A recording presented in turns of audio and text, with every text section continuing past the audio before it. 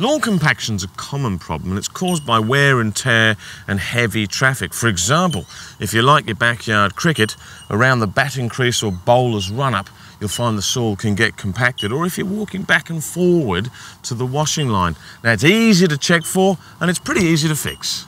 To test if you have a compacted lawn, simply push a garden fork or screwdriver into the ground. In a good lawn, the tines of the fork should easily go down halfway or more. If they don't, the chances are the lawn is compacted and needs some fixing. You can aerate compacted lawns with a garden fork or power aerator or coring machines. You can hire petrol-driven lawn aerators from equipment rental companies. You can also apply gypsum to compacted lawns at the rate of about one kilo per square metre. Once the lawn is aerated, it'll grow strongly again and outcompete bindii and other nasty broadleaf weeds. Or speak to my local mates at Cobbitty Turf on 4651 222 9.